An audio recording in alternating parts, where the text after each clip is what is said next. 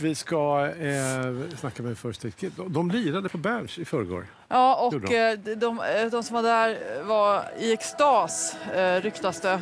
Så här såg det ut då. Eh, First Aid Kit är ute på en världsturné just nu, men ni har, lyckats, ni har fått höra dem här på morgonen hos oss i Nyhetsmorgon och det är vi väldigt glada över. Och nu sitter de här. Hjärtligt välkomna! Tack. Tack. Är, är, är ni pigga och glada eller hur, hur känns det så här mitt i turné?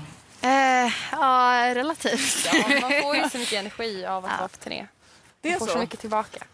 Ja, Eh, ni får så mycket, blir ni peppade av allt beröm också? Eller, Ja, blir det är såklart. det? Det är klart. Det Nej, är, det är ju fantastiskt att, att bli uppmuntrad såklart.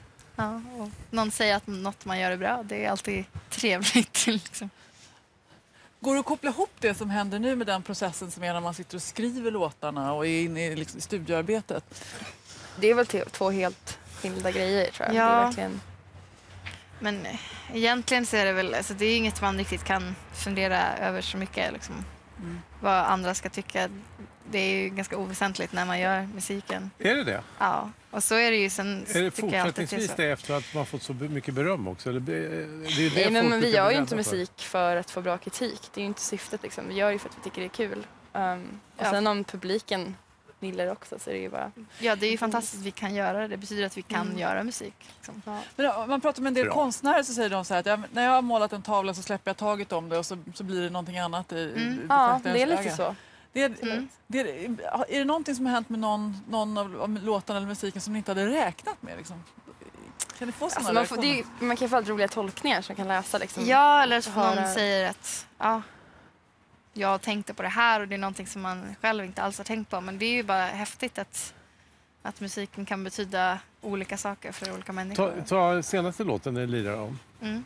som har någon sorts eh, positiv eh, eh, framtidstro, eller? Silver Ja, lining, är inte ja, det? eller snarare, vi sjunger ju Show me my silver lining. Så att det är snarare sökande efter en Ja. positiv framtid. Att den är svår att... Okej, man sitter Mm. i pottan och vill nå bättre. Ja. Men lyssnar man på den texten får man ju... eh, ja, Den är ju rätt melankolisk sådär också. Mm. Man undrar ju om ni... Är det lätt att tappa bort sig mitt i den här otroliga framgångssagan som ni befinner er i? Att Äh. tappa den, liksom, den här euforin liksom, som man kanske har inledningsvis. Jag vet inte. Alltså det, Mm, det är ändå så, så häftigt när vi spelar. När folk Mm. kommer och när vi får liksom... När man får kontakt med publiken och man känner att de här låtarna liksom... De har ett liv utanför som vi inte har någon kontroll över och liksom, de betyder någonting för andra människor. Det är Får jag otroligt berätta en liten bit om det där livet utanför?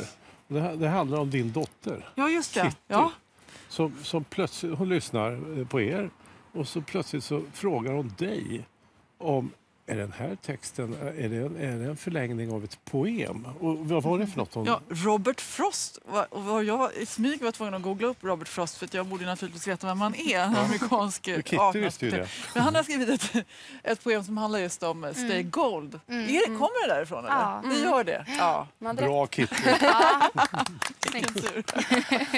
Jajamän. Men ni har ju också hamnat, ni är ju tokhyllade. Det är liksom alla plus och getingar och skumbananer och allt som finns bara liksom haglar över det. Och mitt i det här så uppstod det ett, ett möjligtvis väldigt litet och eh, ankdammsartat kritikerbråk mm. där ni hamnade i centrum och Kjell Hägglund säger att det här är bara Eh, det är någon slags, eh, vad ska jag säga, folk har blivit helt förvända i huvudet. Det här är talangjaktspop så att säga. Mm. Ja. Vad tänker ni kring det? Ja. Det, det är såklart att når man en viss popularitet och liksom, folk ska hylla den så kommer det komma någon och bara Nej, de är inte bra, ni har fel. Ja. Och det är bara så det är. Det är ja, liksom, alla kommer inte tycka om oss. Det alla, har vi, vi kan ju inte förvänta oss att alla ska gilla oss. Liksom. Nej. Men vi tycker, det är, vi tycker vi är jättenöjda med skivan, vi tycker den är jättebra, vi Ja. älskar att spela. Det där är en egen Det är liksom- dramaturgi också. Det spelar Ja. inte så mycket roll, stor roll hur skivan är. Ja, men det vi, där blir det så känns ändå. inte lite tröttsamt att någon säger så här, ja ja visst de är bra men Par, Graham Parson, de måste gå tillbaka Ja, till men det är väl rötterna. lite, ja, man kan väl inte liksom riktigt jämföra på det sättet. Nej. Och sen känns det lite, lite tråkigt. Alltså efter vi är två unga tjejer, liksom, det är ganska lätt att säga så om oss. Liksom. Ja, är- det är klart, vi- lyssnar man på Bob Dylan, de kan inte jämföra, liksom, det är jättekonstigt. Det blir liksom, ja. Ja, vi, vi, det har vi aldrig påstått själva. Liksom. nej.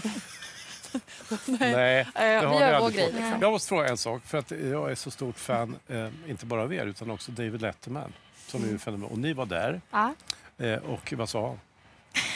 Han sa att han ska flytta till Stockholm Ja, han sa det. och att han kan eh, göra ärenden åt oss. Ja. Ja, vi kan ju Kolla. bara hälsa faktiskt. Vi har nämligen klippt ut det.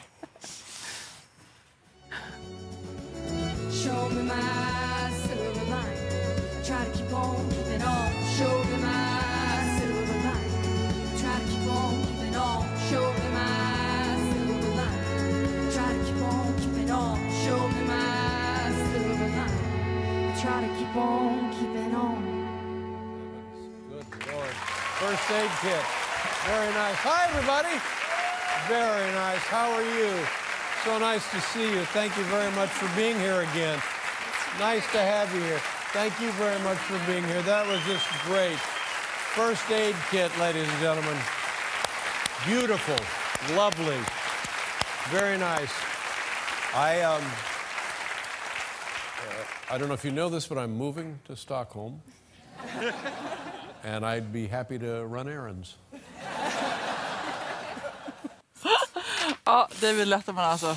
Så, Ja, men vad tycker stort. ni om honom egentligen?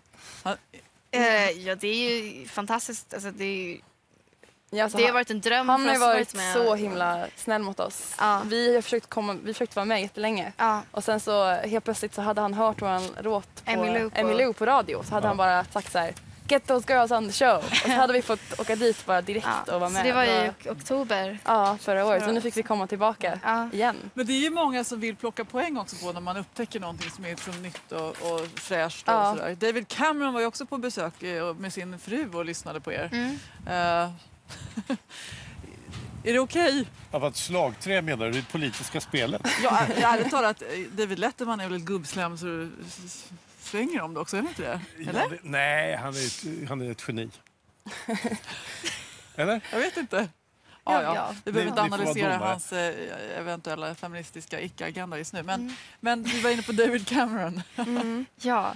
ja, vad ska man säga om det? Det är väl... Alla får komma på våra spelningar. Ja, alltså, jag menar, vi, inte, vi, inga, vi kanske inte håller med om hans politik så mycket. Så att, men eh, ja.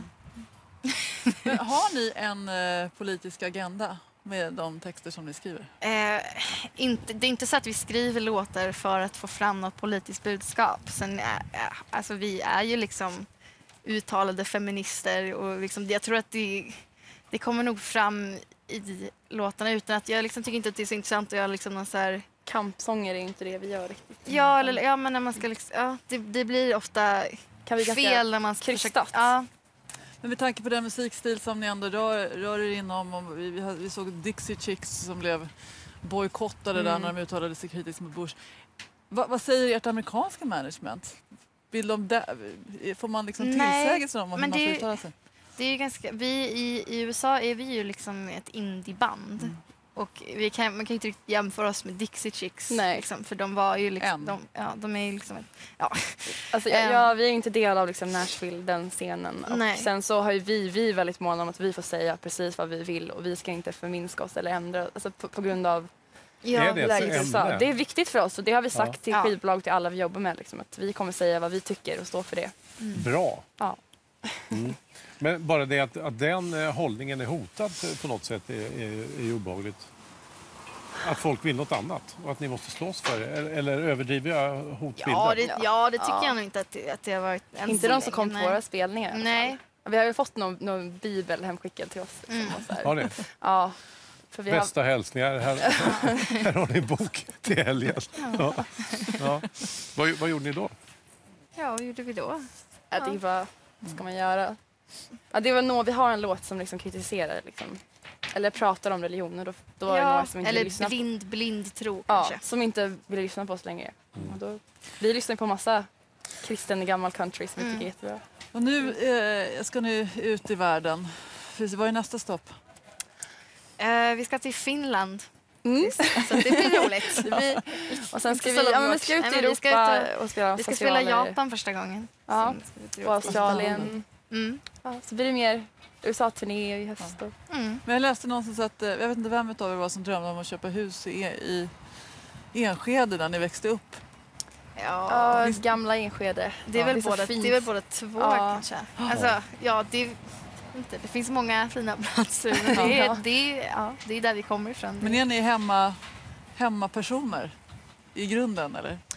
Ehm, jag tror att man...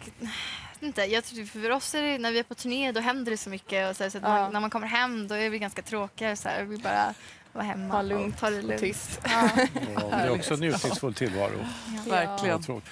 vi, vi är så glada att ni är här. Hur ska ni fira midsommar då? Ehm, ja, det här är ju mitt firande här. Ja. Du måste få en krans. Rulltårta! Rulltårta Ja. och, och en krans kanske. Ska vi käka där borta eller? Ja. Ja, då gör vi det. Tack snälla för att ni kom Ja. hit och för att ni Ja. spelade för oss denna morgon. Ja, och all lycka eh, i framtiden också. Det är hur kul som helst att följa er. Ja. Det är bra.